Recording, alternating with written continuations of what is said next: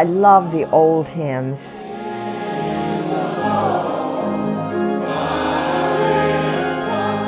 Sometimes I open a hymn book and just read the words to some of my favorite hymns, which is almost better than reading the Bible because the, the poet's interpretation of the Bible is so satisfactory to me.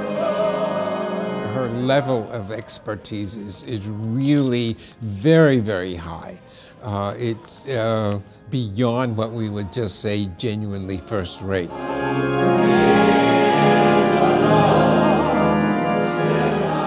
She's one of the very bright stars uh, that Detroiters can point to with pride. Uh, not only is she doing what she's doing in terms of the publishing and the writing, but she taught here. She was invested in the children of Detroit. She's a star.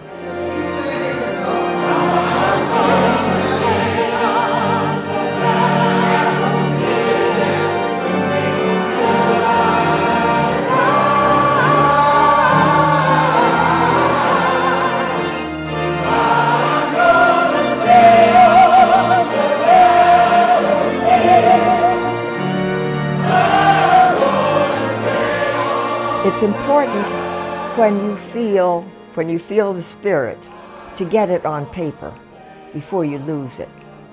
But once you have it on paper, that's just the beginning.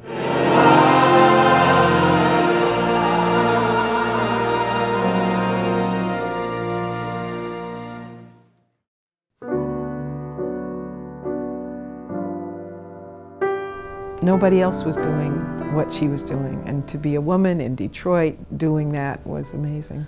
Definitely, Detroit has brought and welcomed Naomi into its its kind of metaphorical arms, and and I think she's embraced it. Obviously, she's the poet laureate, so that means something.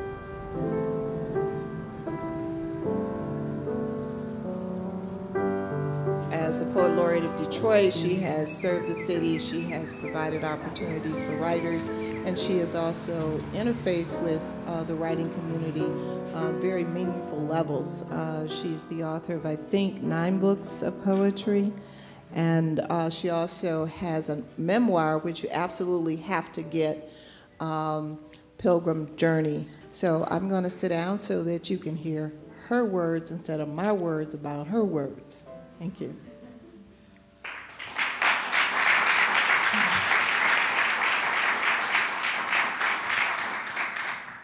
I assure you this is not a throne, but the old lady just has to sit down.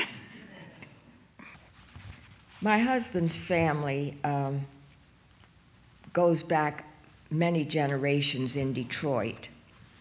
And uh, we used to visit his sister, sit on the porch, and listen to the traffic noises on Linwood at the corner of, of Burlingame. And I always had a sense of peace sitting there. Uh, I knew I was going to write a poem uh, about sitting on the front porch there, but it all came together when uh, my sister in law's grandchildren were spending the night, and my sister in law and my husband got into a disagreement about who one of their ancestors was. Uh, there are a number of things that are negative about living in the city of Detroit, and they are the ones that always get in the newspapers.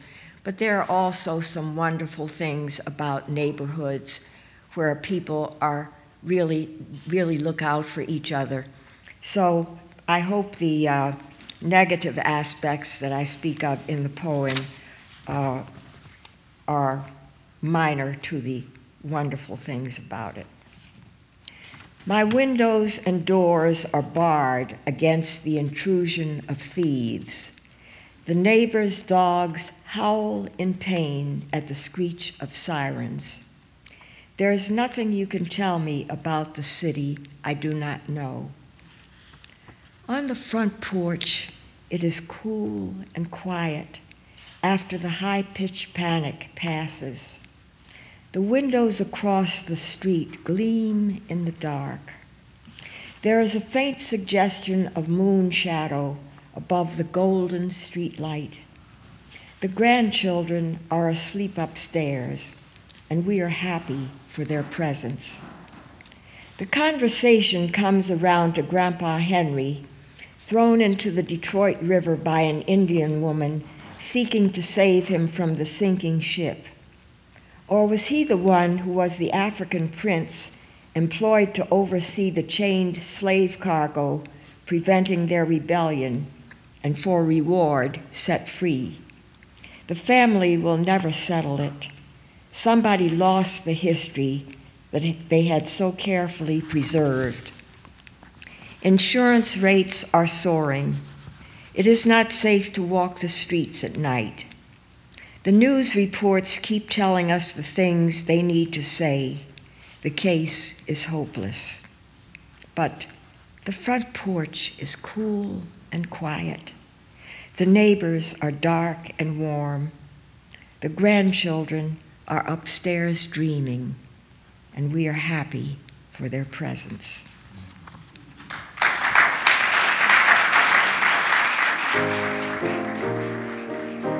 Detroit was the center of a lot of, of literary growth. I mean, Dudley Randall was here, and a lot of fine poets around Wayne State University and in her early years here before she founded Lotus Press. And then Lotus Press is kind of has become, um, you know, the godmother of African American poetry. Dudley Randall on the one hand and Naomi on the other, they're just two pillars of African American publishing. I didn't do this by myself. You know, I didn't give myself the talent. And so I, I have to use it and and I use I have to pass on to other poets the encouragement that I received. Publishing uh, for Naomi has allowed her to uh, give to the canon of American literature and to um, the Academy a variety of poets that they would have normally ignored or missed for some strange reason. Two poets immediately come to mind. One is Dolores Kendrick, and the second is Toi Derricotte. And both of those were first published with Naomi, but have gone on to major publishing houses. When I got that letter that said that Lotus Press was publishing my first book, The Empress of the Death House, I screamed so loud that everybody in my neighborhood I, I guess they thought I really had lost my mind. That was that finally the other shoe dropped, you know. Um, it was unbelievable. And I think now, and of course looking back, for me to have been published by an African American woman must have said to me, somehow you always pass this down. Whenever you're doing work for other people, the people you do it for, they're absorbing that. And they, they take on the mantle. I mean, what she gave to me, I'm giving to others. And I realize now that uh, that this is about the gift. You know, it's passing through us. We don't own it. Um, it's not about it's not about me. It's not even about her. It's about that thing that has to be expressed. Langston Hughes was such a wonderful human being, and he was always so encouraging uh, to, to younger poets and uh, so was Gwen Brooks. And that's the kind of, I don't, I don't want to be full of myself. Um, I, I want to, by, by establishing Lotus Press, uh, I felt that publishing other poets was more important than, than the work as one poet. Well, she has nine books, and you, somebody tell me how she did this. I do not know. Um, because she, you would think she gave her whole life for other people. I mean, in that she's published 90 books of poetry by, by poets, a lot of them first books, which is so incredibly important in the world of poetry to have a book it changes your whole life to have a book. Um, but when was she writing her own poems? You know, I would talk to her on the phone and she would say, you know, she was working on a poem, but she'd always say, oh, you know, I, I'm just so much work that I'm doing for so and so's book, and you know, she that was what she was talking about. Mostly, she would be talking about other people's work. I had been given so much that I have to I have to give back. I owe.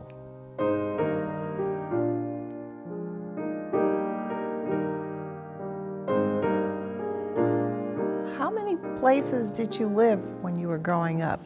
Well, I was born in Norfolk, Virginia, but we left there when I was about 18 months old.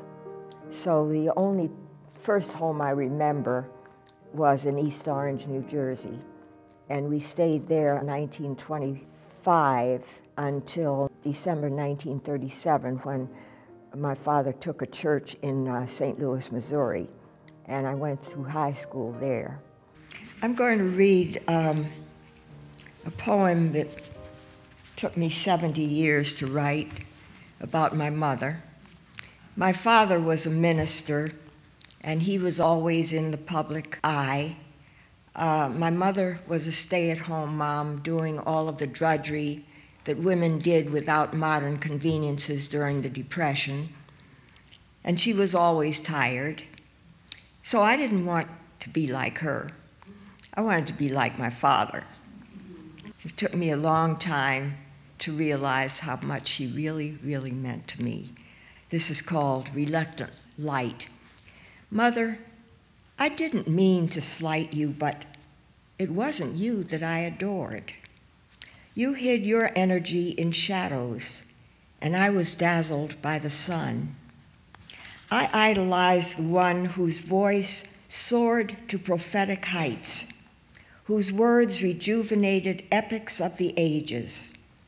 Some fine June Sundays, slender and magnificent in morning coat, he would electrify the pulpit with eloquent pronouncements of doom and glory so divine the very gates of heaven seemed to part, bathing the atmosphere in crystal light. Seeking his favor, I rehearsed raising my hand like his in benediction, earning the childhood name of preacher, shortened in time to preet. You gave us daily sustenance, but there was never a choir's fanfare or the soul beat of the mighty to grant applause. You baked the bread for which we seldom thanked you, canned pears for winter, and mended depression weary clothes, scrubbing sheets on a washboard, humming hymns to lift your sagging spirit, and cultivating beauty in endless flower pots. The summer when he toured the streets of ancient Palestine and Rome, you consoled yourself by painting pictures of the Appian Way, using the kitchen table for an easel. You coached me with my homework, rejoiced in my small triumphs, and prepared me to confront the enemy, tapping your umbrella against my fifth grade teacher's desk to punctuate your firm demand for justice. I didn't recognize your subtle power that led me through blind, airless caves, your quiet elegance that taught me dignity. Nor could I know the wind that bore him high into the sunlight emanated from your breath. I didn't want your journey, rebelled against your sober ways. But I have walked through my own shadows and, like you, transcended glitter. I have learned that I am source and substance of a different kind of light. Now, when they say I look like you and tell me that I have deepened to your wisdom, softened to your easy grace, I claim my place with honor in that court of dusky queens whose strength and beauty invented sons that others only borrow. And mother, I am glad to be your child.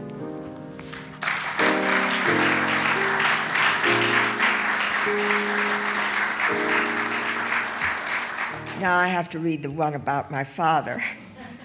Um, in the Depression, uh, during the Depression, people used to come to the back door begging for food.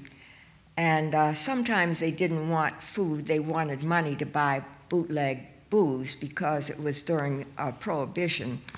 But my mother always uh, made a sandwich for them until one day she went around the house and saw that the man had thrown the sandwich in the bushes. And she said, uh, told my father, I'm going to stop giving these men my good food when they don't want it. And his answer is in the poem. And uh, you know how kids drop things on the floor? Dad would say, pick that up. And we might say, I didn't, I didn't drop it. And he would say, the answer is in this poem.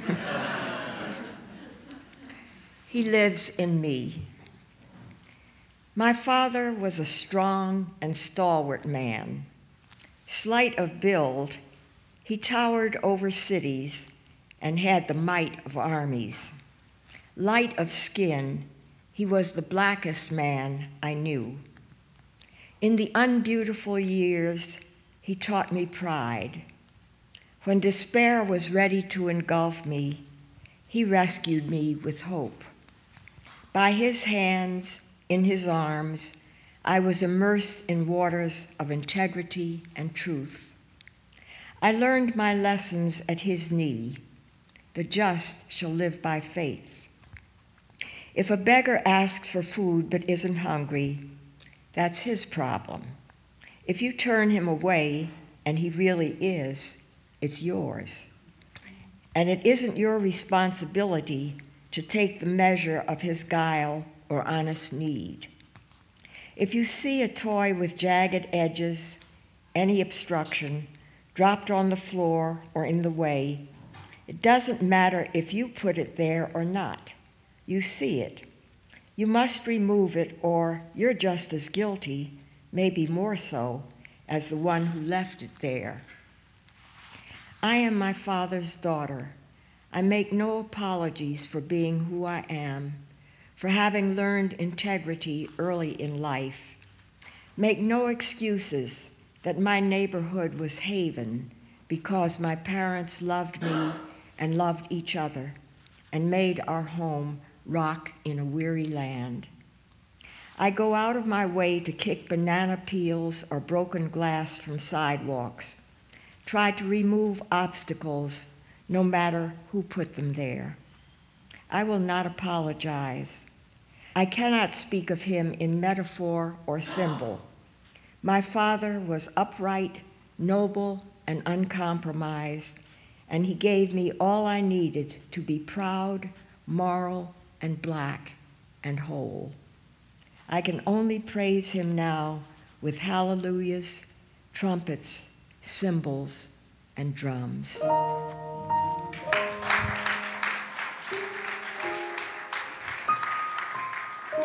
East Orange was the most prejudiced city in the North that I can think of. Uh, the school system did not have a single black employee, not even a janitor. And each of the grades uh, had three divisions, A, B, and C. In the A division, there might have been one black student or none. In the B, there might have been six. And all the Italians and black kids were in the C division. My older brother had already started school and he was put in 2C. And my second brother was in the B division, and I was the only black child in the A division through the eighth grade. And uh, the prejudice that I experience there. And, and throughout the city, you wouldn't believe. Um, there was a, a, line in, in one of my poems uh, about my mother, Reluctant Light, about her tapping her umbrella on the fifth grade teacher's desk, demanding justice. Um, there was a, a, contest in one of the grades uh, for reciting poetry. And mother, my mother we decided on the poem I was going to recite, not an original poem. And she drilled me and drilled me and drilled me to make sure that I recited with, with uh, expression. And as I listened to the other kids recite, I knew I was better than they were. I didn't get first, second, third, or fourth prize. And the, my teacher told my mother, everybody knows Naomi won that. And my father wanted to continue his education, so he enrolled at uh, Upsala College in East Orange, and he was the first black graduate. And he was pastoring a church full time and had a wife and three children at home. But he was the uh, highest ranking student in his class. The president called him in and said, We're not going to let you make the valedictory address. And if you insist, we will never admit another Negro. So my father said he didn't care about making the speech, but he wanted recognition for his achievement. So they printed it on the program.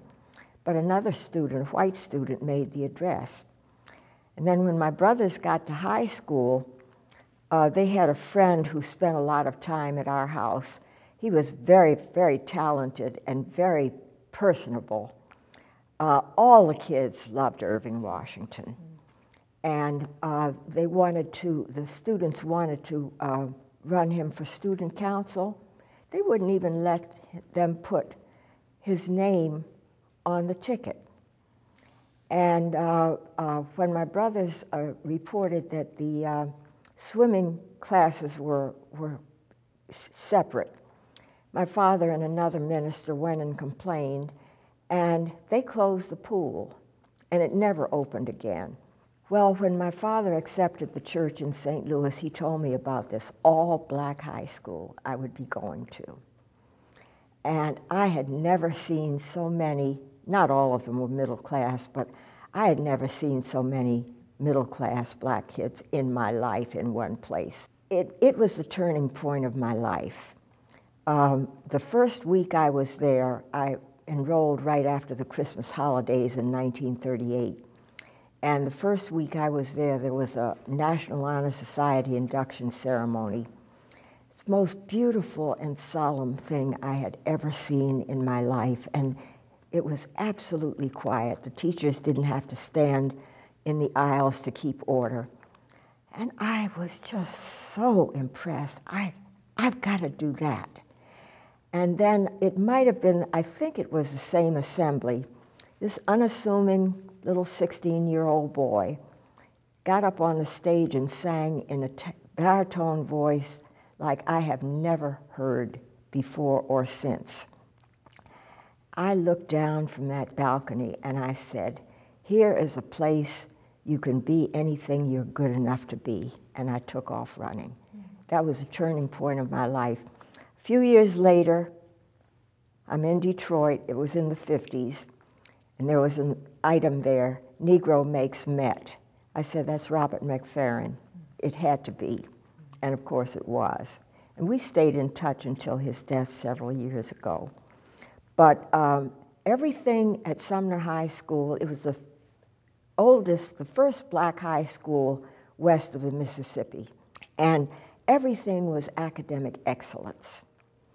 And it, it was just, if I had never gone to St. Louis, I don't know, you know, my life would have been very different.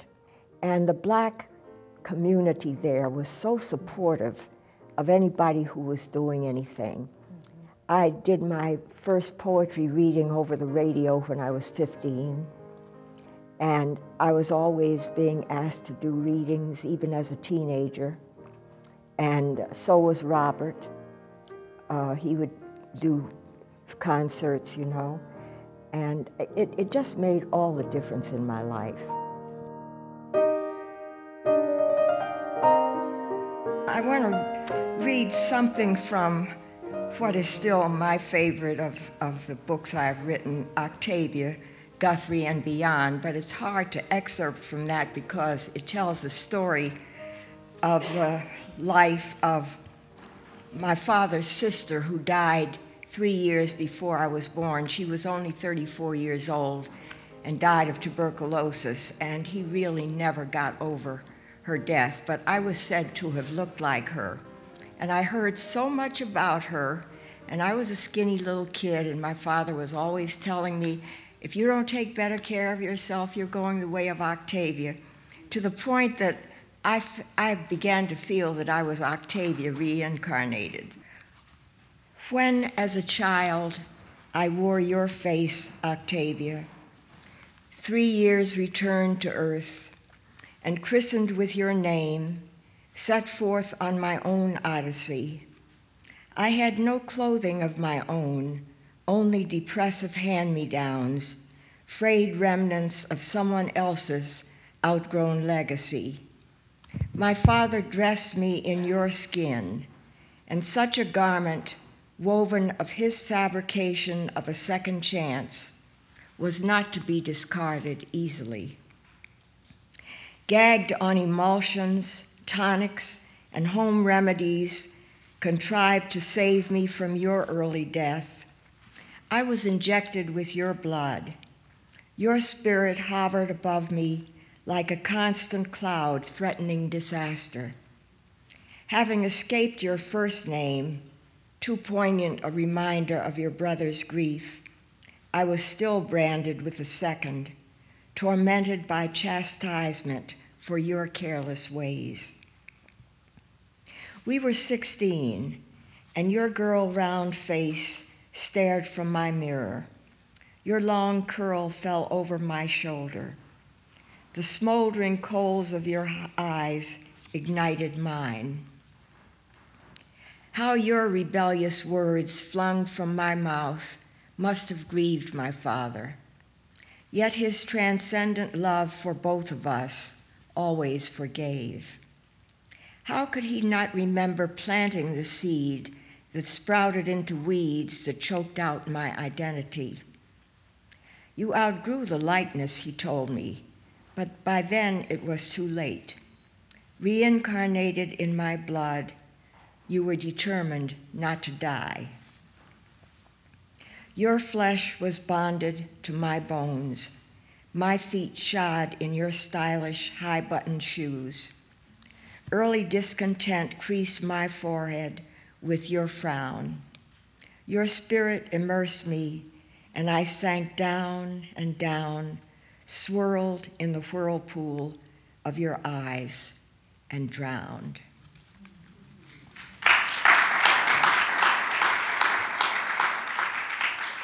I think that she receives a great deal of satisfaction because perhaps in her mind the circle is complete, that she got so much from her own heritage. And now she's able to give back not only to others, but to stand beside those who made accomplishments that made her who she is. We would like to present you with the first Ebony Lotus Literary Lotus Award 2010.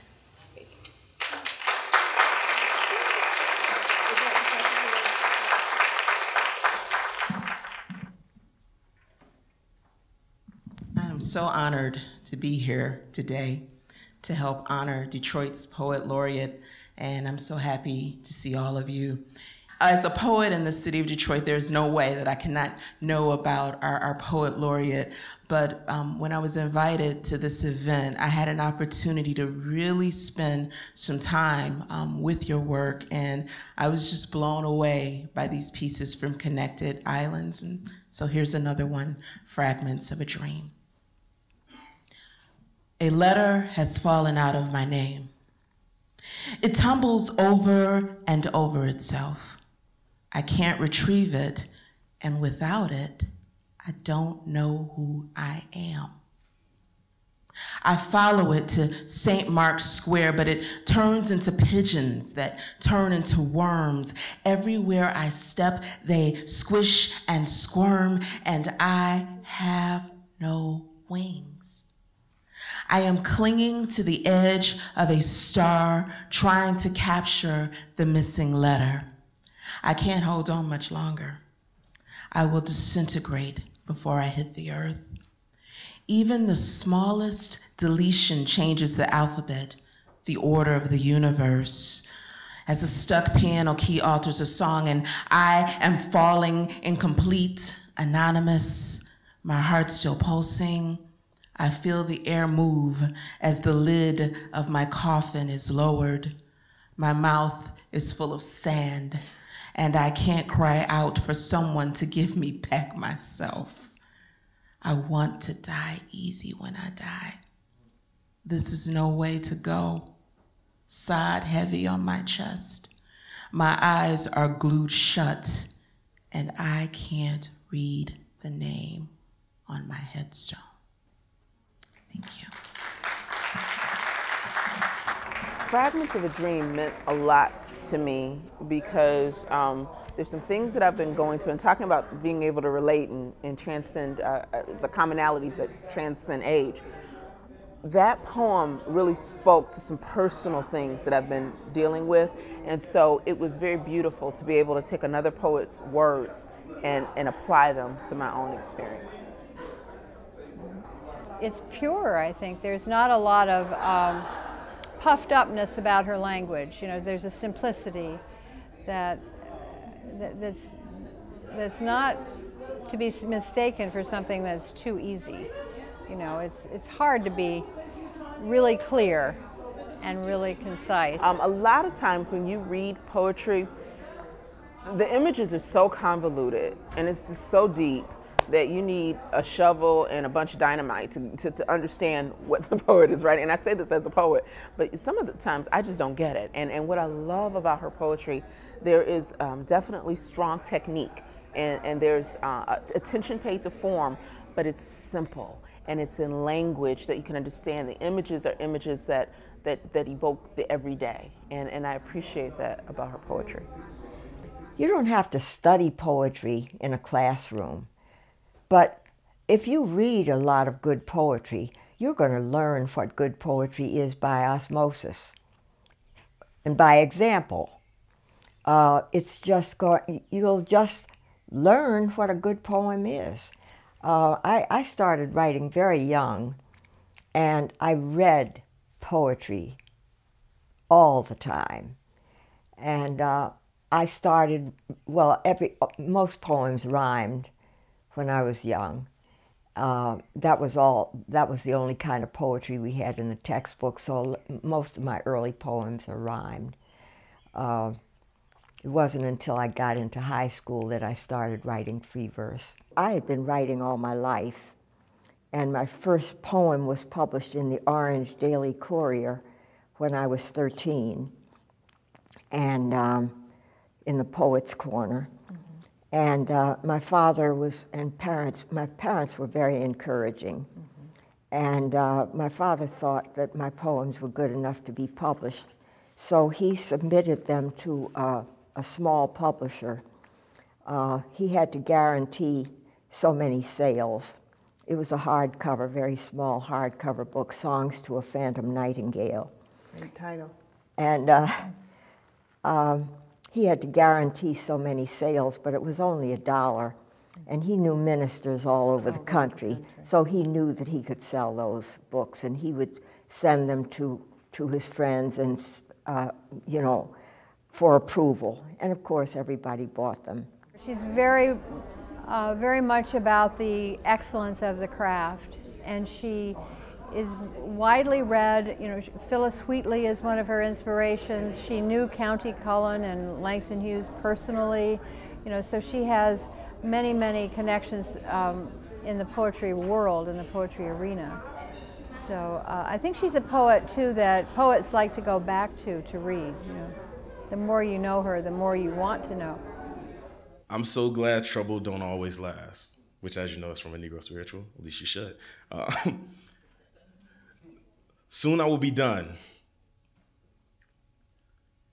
All my life, I've been waiting for trouble to pass. If it wasn't a flood, it was a drought. If it wasn't the boll weevil, it was white folks trying to take our land. Soon as we built a house big enough for all the kids, they raised the taxes. Then Papa died and Mama come to live with us with all her furniture cause brothers say we only ones got that much room. Soon as son get out of trouble, Susie come up pregnant. We was all proud of Junior when he came back home from Vietnam with medals and honors and his picture in the paper till police has gunned him down, robbing a grocery store. At least that's what they told us. I used to sing in church, and truly I did believe soon we would be done with the troubles of the world, going home to live with God. But I bet you anything, soon as I get to heaven, the golden stairs is gonna fall down, and God's gonna say, Sister Johnson, see, can you give us a hand here? Sure as anything, I'm gonna be the one has to build them up again. Thank you. It's an energy. I think people, a lot of people probably talk about her energy, uh, but that probably comes up a lot when people mention her. She, uh, she has a presence that's, um, that's amazing. It's, it's, a similar presence to um, Lucille Clifton. I had the pleasure of meeting Lucille Clifton um, before she passed. And um, it's a similar energy that just commands respect. Um, where um, you just feel like you need to just kind of be quiet and just be present um, when you're around her. And uh, so that's what's kind of like to me with her. And me personally, I kind of I fumble over my words a little bit, and I'm kind of like, um, it's almost like this feeling of, um, you know, you're you, right? Like I mean, do, and I always wonder if these people know who they are. Like, like does Naomi Long really knows she's Naomi? You know? she is never too busy for anybody doing something in the community to offer her assistance, to offer her counsel, to offer her help or if it's some kind of a reading, she's never, you know, uh, turns it down. I mean, if you know, if she's not doing something prior, eh, she's always accessible. I guess that's the thing.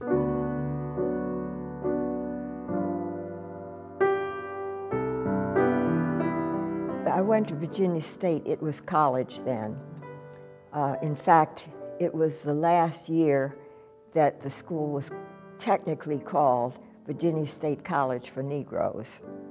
There's no experience to uh, equal going to an all-black college uh, and, and living in a dormitory. Freshmen had uh, one Sunday, an hour one Sunday, that they could socialize, which was what the, uh, the president called it. And uh, if you were caught socializing at some other time, you were likely to be sent to the uh, guidance committee, which I was. but um, but it, was just a great experience. I became an Alpha Kappa Alpha woman in 1942. Did you study English? Was that your major? Or? What else? I was a natural at English. There was no no doubt about what I was going to major in. Even if you intend to write in free verse, I think it's like learning the scales of uh, if you're going to take piano lessons. That's basic to understand form uh, because all, uh, all language has rhythm. Um, if you say a sentence, there is rhythm to the sentence. There are accented and unaccented uh, syllables. And uh, if you don't understand form, you're likely to write a free verse poem where the syllables bump into each other and don't form a pleasant rhythm.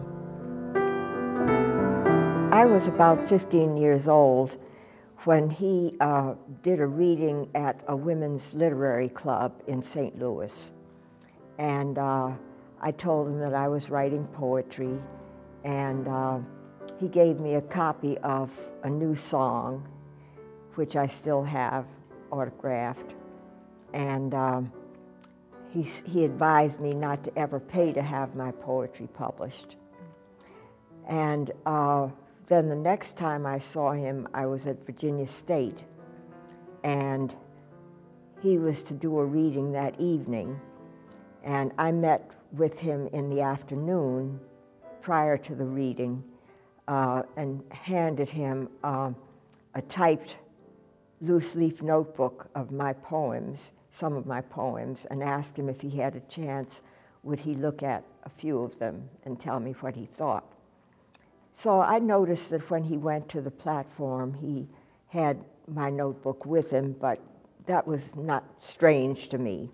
But in the middle of his reading, he read several of my poems, And he said those poems were written by one of your fellow students. And my head got really big with the praise that he offered. And uh, when I went to get the book back and he noticed that I was waiting at the edge of the stage, he left the group he was talking to and gave it back to me. And he had gone through the whole thing and penciled in comments, which I immediately covered with scotch tape so that they wouldn't get erased. You know, I, I tell students all the time, uh, they, some of them seem to think they don't want to spoil the spontaneity of the poem. So the way it, first way it comes out, that's the way it has to stay. There's nothing sacrosanct about spontaneity. How long um, have you lived in Detroit? I came here as a young bride in 1946, shortly after I graduated from co college. And I've been here ever since. Well, Jill was born uh, a little over a year after we got here. I had met her father at Sumner High School in St. Louis. He was getting ready to graduate when I came, and he introduced himself in, in the hall. And then um, he went to Lincoln University in Missouri and was my brother's roommate for a while.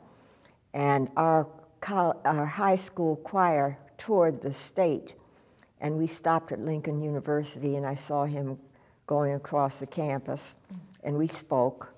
And then I didn't see him again until uh, during the war, he was stationed at Camp Lee, and somebody told him that Long's sister was on campus. So he looked me up, and that was the beginning of, of the romance. Mm -hmm. But um, he was shortly shipped out, and uh, he went to Paso, Texas, El Paso, Texas first, and then to Hawaii. And after he came home, then we got married. But he had been in Detroit before that and decided that Detroit was where he wanted to settle. He was in Detroit during the 1943 riot. He was shot in the back by state troopers at the, on the steps of the St. Antoine Y. Uh, they had just come back from the Lucy Thurman YWCA across the street, which served meals. Mm -hmm.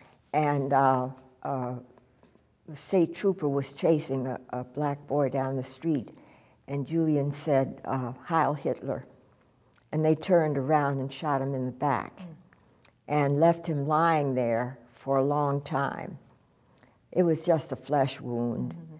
But um, uh, we were in, living in New Rochelle, mm -hmm. and uh, my brother said, uh, You know, I think Spoon is in Detroit. And if he's in Detroit, he's in the riot.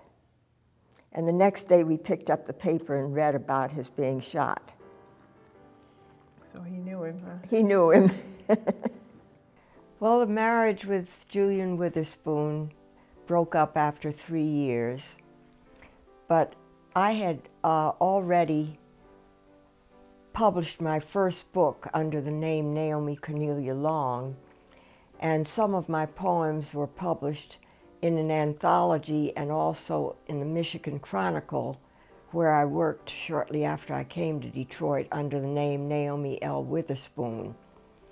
Uh, after six years, I met and married uh, William Harold Madgett, and it was under that name that I became much better known.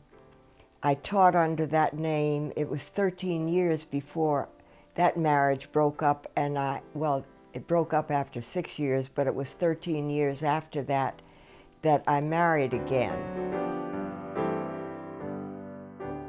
I had determined that I was never going to marry again because I didn't trust my own judgment.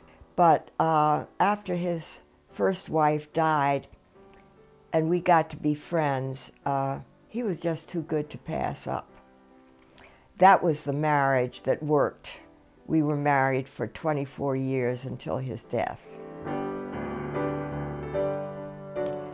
I decided that I was going to keep the name Madgett because I had run uh, into uh, Dorothy Porter, who was then the head librarian at Howard University. And she said, Naomi, please don't change your name again because it took me years to fi figure out that Witherspoon and Madgett were the same person. And so I did everything I could to keep the name Andrews out of print. Someone, when I was teaching at Eastern Michigan University, uh, someone in the library sent me a page from a bibliography that listed me as Naomi Cornelia Long Witherspoon Madgett. I said, no more. It is lonely in the creation process, but you're very fortunate if you have an informal group to share your poems with uh, people who are uh, as good as you are, who can critique your poems and tell you what they see in them because we know what we mean, but sometimes the poem doesn't come through to the other person. When my second book was published, uh, it was a very dry period nationally. There were not, I mean, you could count the number of black poets who were getting published on, on one hand. And uh, when my book came out, it caused such a stir that it was written up in all the papers. And I uh, was invited to do a reading of, as far away as Philadelphia. And I read in Grand Rapids. And I mean, it was such an unusual thing to have a book of poetry published. Uh, and I didn't know anybody, any other black poet in Detroit. Eventually, I met uh, Oliver LaGrone, who was also a sculptor. And we were the only two black poets that we knew of in Detroit. Rosey Pool came from the Netherlands, but she was living in London then. And uh, she came for an extended visit. And the black poets in, in the United States were so well known in Europe, she didn't think she would be telling Americans about American poets. But uh, she did a lot of lectures, and she had a radio program, Black and Unknown Bards. And uh, through her visit, we found out that there were other black poets. And I don't know at what point I met Dudley Randall, but uh, he came back to Detroit the same year my second book was published, in 1956. But I eventually met him, and then there were some others uh, who didn't write as much poetry or wrote occasionally, occasional poetry. Uh, Edward Simpkins, mm-hmm. um, Harold Lawrence, um, Betty Ford, and there was a high school girl, I think her name was Gloria Davis, if I'm not mistaken. But we, we started meeting at each other's houses informally and discussing each other's poetry and making suggestions and whatnot.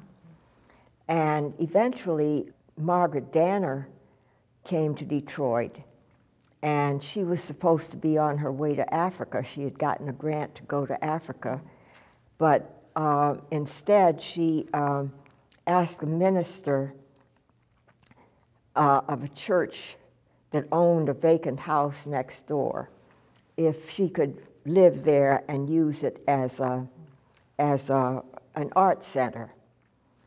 Uh, and the minister's name was Theodore Boone. So we called it Boone House. We got together once a month and read to each other mainly uh, we put on a program at, at Hartford Avenue Baptist Church called Poetry Unlimited. And uh, all of us read there, and there was big turnout and uh, some publicity about it. And uh, people talked about it for years after that. I think we met there not two years. I can't remember exactly how long it was, but all of a sudden, Margaret disappeared, and nobody knew where she was. And uh, so the group broke up, and her, uh, James Thompson moved to New York, and uh, um, Harold Lawrence changed his name to Kofi Wangara and moved to Africa, and the group just sort of fell apart. Eventually, it turned out that um, Margaret had uh, used the money that she was supposed to go to Africa with, and she was finally getting ready to go.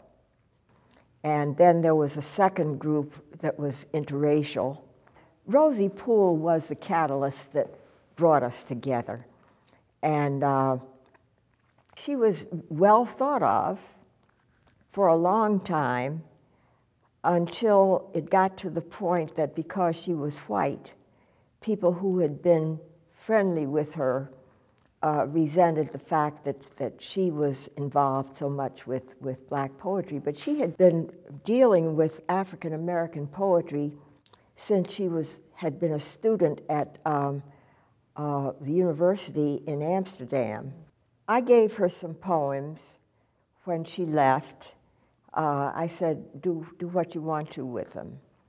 I didn't know if she was going to include them in her anthology or what. And uh, one day, uh, Dudley, who was a librarian at that time, called me and said, uh, uh I see you've been published in um, uh, Freedomways magazine. I said, No, I haven't. He said, I'm looking right at it. So she had given it, and uh, that's how it got published in Freedomways, but I wasn't even aware that it was, that it was, it was there. It was there, it was in print. When did you first meet Robert Hayden? You know, I don't really remember when I met him.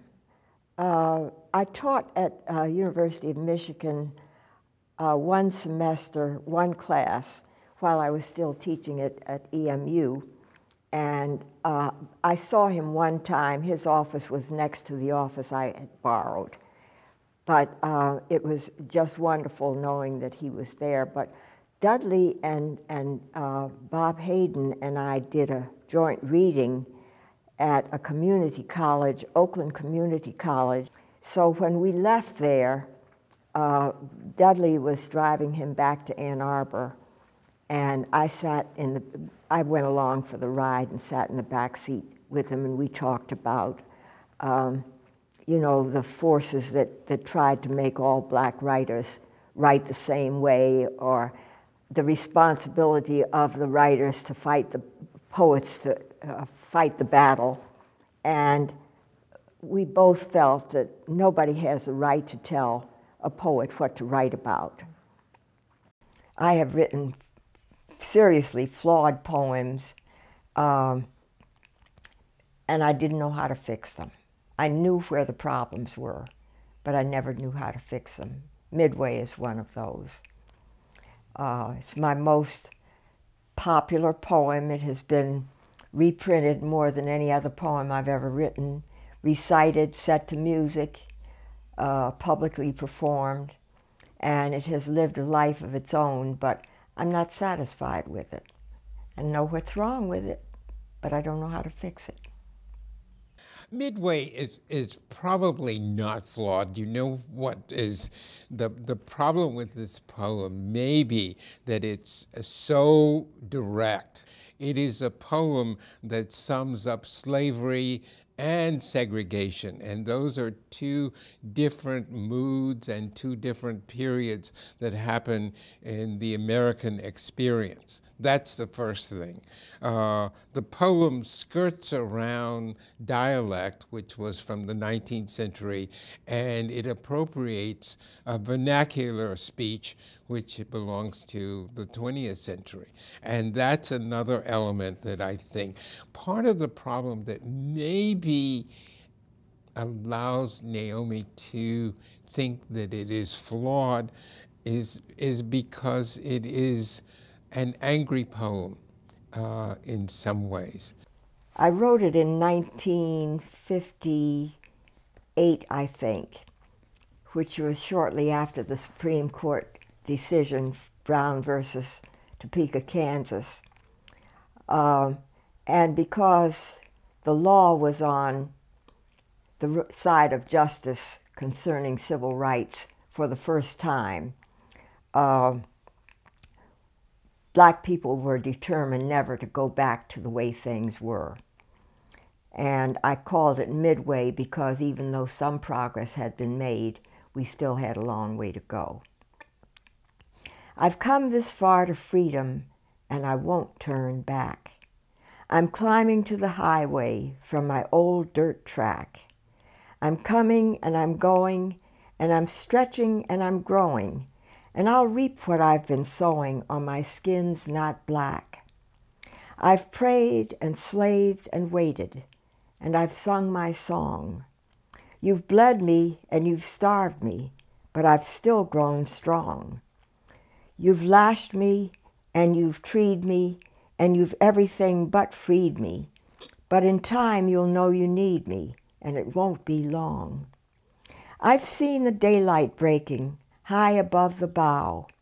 I've found my destination and I've made my vow. So whether you abhor me or deride me or ignore me, mighty mountains loom before me and I won't stop now. Now, you know, the, the poem determines its own form the line that came to me was, I've come this far to freedom and I won't turn back. I was stuck with that, unless I wanted to change the line, which I didn't. It maybe does not have the metaphorical subtleties that uh, mark and distinguish many of Naomi's poems, and that may be what troubles her about it. It's not that subtle, it is just a straightforward uh, declaration of an experience. And there's nothing wrong with that when that experience is honestly presented. And I think that maybe we sometimes shy away from uh, that kind of presentation. You taught high school in Detroit. I was determined never to teach. But I gradually realized that I was a born teacher. But it took me a long time to come to that realization. Uh, most of the years that I taught in Detroit were at Northwestern High School, and I really loved it there. The parents were very supportive. It was almost completely black student body. And I thought that the students needed good teachers. The English faculty was, was very good, and we were very congenial. We would sometimes have impromptu parties after school at somebody's house. I introduced the first course in African American literature uh, in a summer school class, and um, Melvin B. Tolson was in town. And he came to our class. Mm. And his way of teaching was, was very interesting. And then it became a regular part of the curriculum. And the first um, accredited creative writing class I also introduced. Um, and Pearl Cleage, who is now a famous playwright and uh, fiction writer, uh, was one of my students. I was uh, one of the pioneers in uh, uh, getting textbook changes because when I was teaching at Northwestern, we used a book called Adventures in American Literature. I remember it. And the only thing it had in it was one poem by Gwendolyn Brooks, uh, The Creation by James Weldon Johnson, an article about uh, George Washington Carver and one about Mary, Mary McLeod Bethune. And um, um, George Was Washington Carver's picture was in the book. When I saw the uh, uh, contents of the revised edition, they had removed everything except the creation. Wow. And I wrote a letter to the editor, and I said, I'm not going to use this book. They said, Well, we, don't, we aren't aware of uh, the race of the people who we're dropping. I said, Yes, you are, because George Washington Carver was a dark skinned black man, and you couldn't remove the article about him without realizing that, That it was a black man. Mhm. And then their excuse for taking out Gwendolyn Brooks' poem was that they tried to include somebody young and they realized she wasn't young anymore. So I, I really made my own rules. We were supposed to, you know, we couldn't choose our own textbooks, but I made my own rules and I went out and bought some paperback books and had the students buy them from me and instead of from the bookstore. And I refused to use any of the textbooks because they were so deficient. In 1968, Frank Ross, who had been the supervisor of secondary school English teachers, um, asked me if I wanted to teach at Eastern Michigan University. Well, I didn't think I was qualified, but um, he uh, talked to the department head, and I finally went for an interview, and I was appointed as an associate professor there. And as soon as I was qualified to get tenure, I got it. And as soon as I was qualified for a promotion, I became a full professor. And I was there for 16 years. I introduced the first uh, undergraduate um, African American literature class there, and then a graduate class in the Harlem Renaissance. Some of the students became so angry that the, white students that they had never heard of these authors mm. before. And they felt that their, their education had been deficient. Let's talk about you as publisher, the founding of Lotus Press. I had no intention of being a publisher, but I was ready for my third book to be published, Pink Ladies in the Afternoon, and I couldn't find a publisher for it. And uh, so um, there were three people who were interested in my work who said that they would put up the money to have it printed if I would do the legwork. And so I came up with the uh, uh, name Lotus Press, Flower of a New Nile. And uh, I thought they were going to try to promote the book after it was printed, but uh, they seemed to feel that they had done all that they wanted to do. And so uh, for a nominal fee, I took it over and, um, and still didn't intend to publish anything else. But then I do crazy things like buying equipment and not knowing what I'm going to do with it, but thinking that eventually I'll find something to do with it. So I had bought a Gestetner dupl duplicator, which printed in uh, used different tubes of color. And uh, the first thing I did was uh, one of the white teachers said, uh, oh, you, if you've read one black poet, you've read them all. And I knew that there was so much variety uh, in subject matter and style that I, I had to prove her wrong. So I used Gestetner duplicator to do 20, uh, I call them poster poems, they're really broadsides, of uh, 20 living black poets. And I wrote a teacher's guide to go with it. And um, the National Council of Teachers of English bought uh, 250 copies of that portfolio mm -hmm. to distribute. Mm -hmm. Then, then I had this student at Eastern Michigan, and I thought, well, I've got this duplicator, uh, and I could do a little chapbook of hers to encourage her. I didn't know the first thing about what I was doing. To take advantage of the color, I printed it in dark blue ink on medium blue paper, and part of the design was in red. It was terrible looking. And I didn't know about putting the book together. It was going to be saddle stitched. And when I tried to collate the pages, they were all wrong. Mm -hmm. So I had to throw away all of those printed pages and start again. And I had to make a dummy and number the pages so I would know what what page was opposite The other, what yeah. page when they were folded. But it, it, it was a horrible looking book. But I was so proud of it.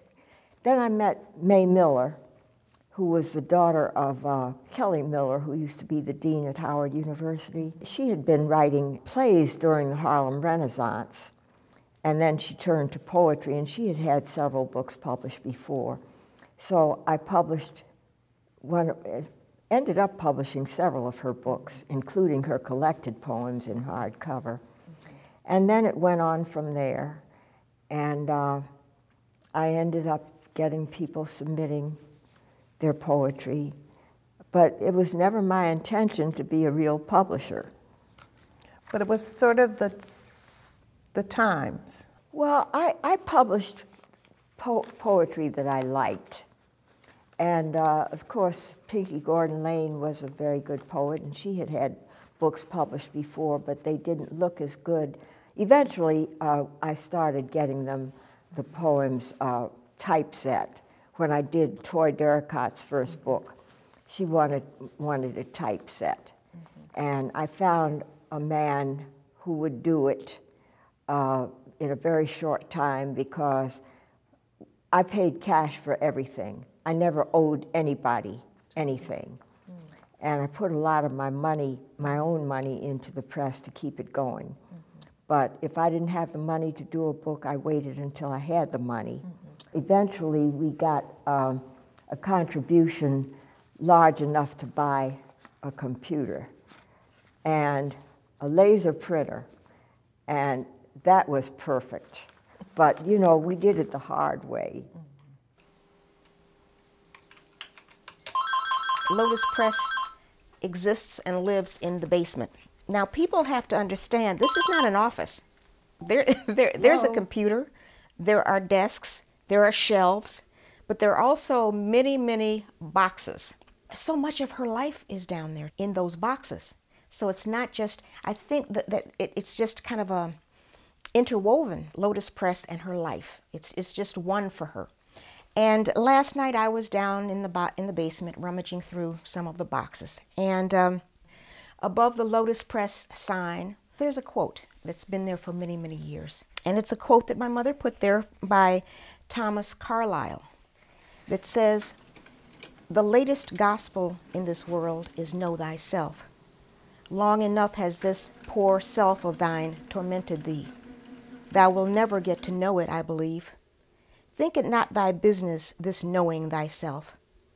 Thou art an unknowable individual, but know what thou can work at, and work at it like a Hercules. That will be thy better plan. She was what we would call an exceptional editor. I do not change anything that they don't agree to. She would not allow you to be foolish uh, in print or in public, uh, and she would question all sorts of little uh, grammatical details. What I do is to write the poet and go through certain lines, identify the line, and say, uh, this word that you're using here doesn't doesn't mean what I understand it. Uh, doesn't.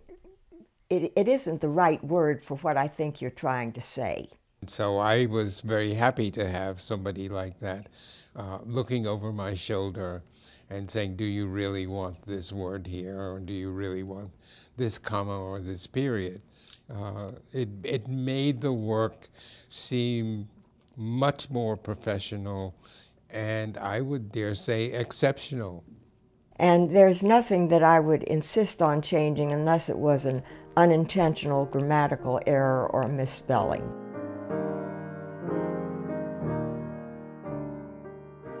One of the books I published, which is probably the most important one, is Adam of Ife, Black Women in Praise of Black Men.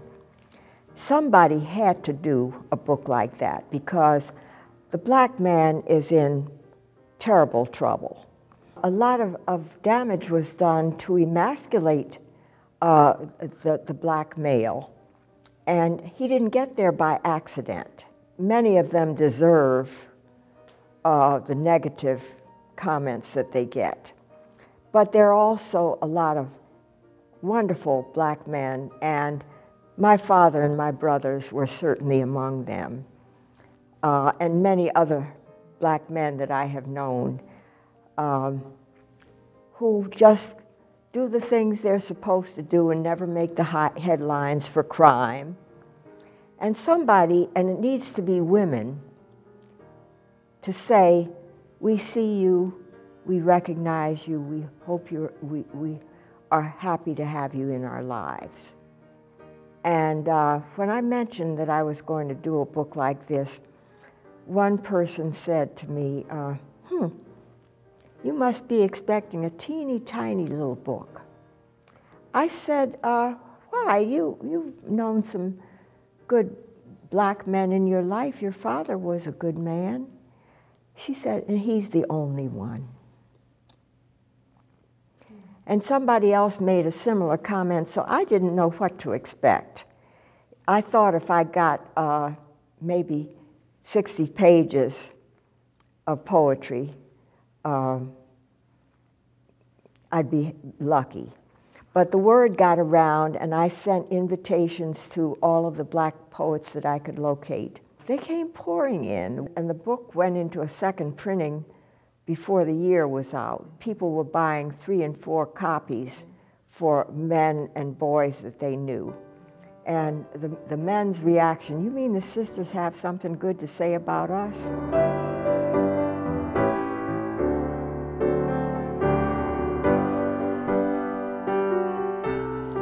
Which poem is your favorite?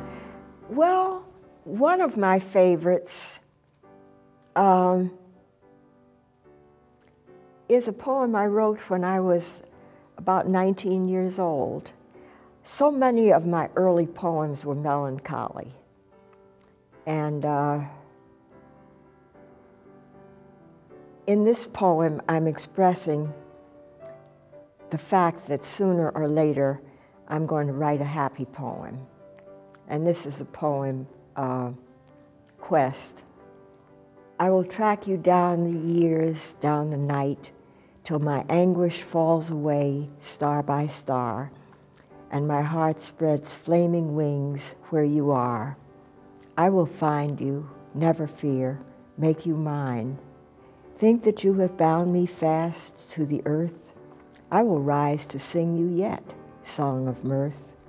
I will let you think you won, perfect dream, till I creep from dark and toil to your side hold you to my heart and sleep satisfied.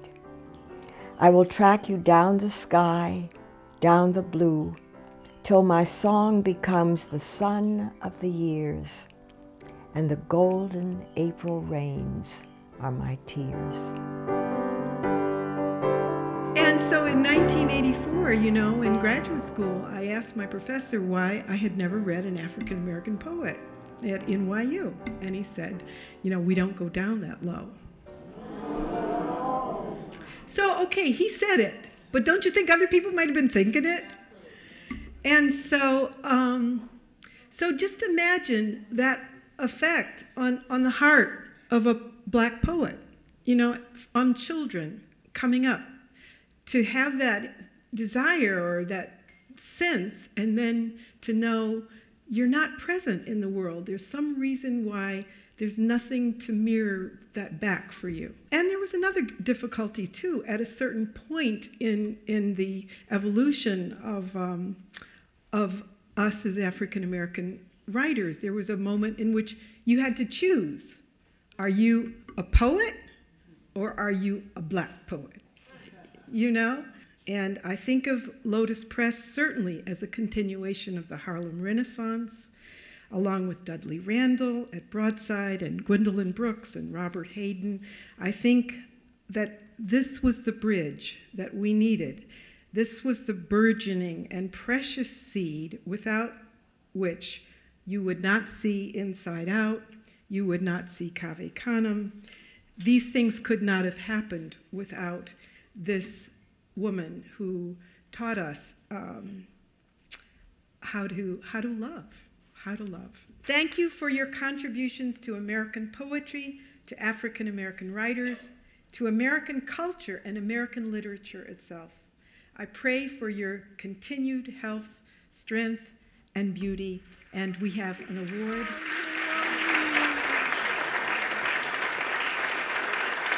Ooh.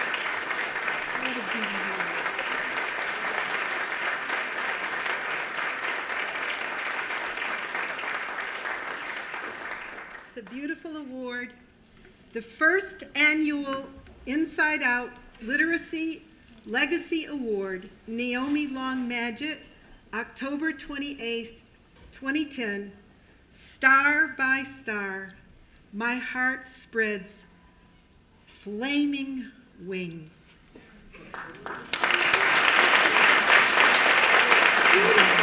What internal mechanism operates for somebody like that? Because it's not just you start it because you think of an idea. This kind of sustained um, life choice you you make it you, you you become you go to that place where you make this and then you make it every day for the rest of your life and i just think at some point she saw what was missing and she said i'm not going to live in a world like that i mean i think it's almost like a life or death moment you you you may not recognize it as that or maybe you do but there's something so profound and so deep that you see is missing. And it's so agonizing to you that you can't live in a world like that. And that's where the genius happens. That's where you say, I'm going to change this. When we look at the work that Naomi Long Madgett has produced over the years, it is a significant body of work. Uh, and one has to, I think, pay very close attention to what it is she's asking us to perceive and to understand. But it is a major mind at work. I'm very pleased with the fact that I have published some very, very good poets. Somebody else might have done it, but the fact is that I did.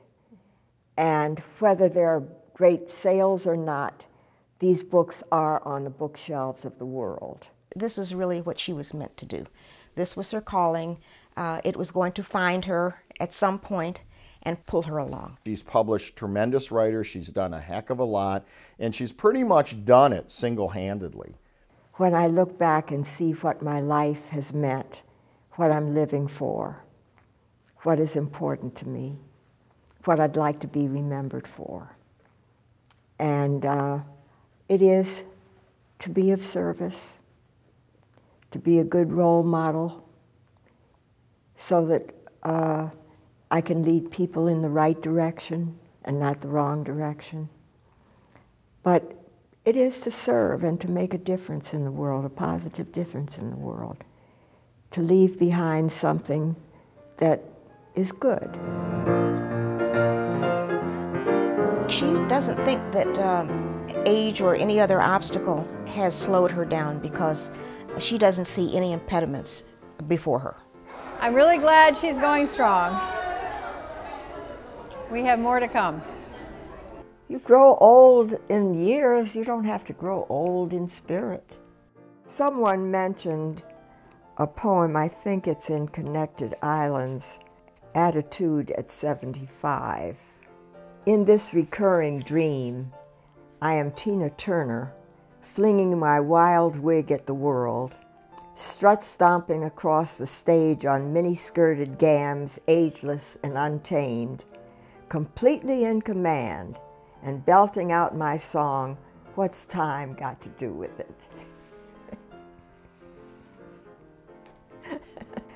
I don't know what they expect an old person to write, but I still write love poems. And uh, they might wonder, well, what's that old lady know about love? we'll understand it better by and by. Temptations, hidden snares often take us unawares. And all are made to bleed for a thoughtless word and deed. And we'll wonder why the test when we try to do our best. But we'll understand it better by and by. Yeah.